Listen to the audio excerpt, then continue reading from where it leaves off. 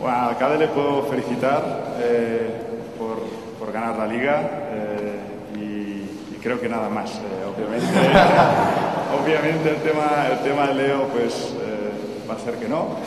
Eh, y respecto a lo de Luis, pues bueno, hicisteis un gran fichaje, ya lo sabíamos. Muy bien, gracias Gerard. Mi querido eh, Gerard, yo te diría solo una cosa.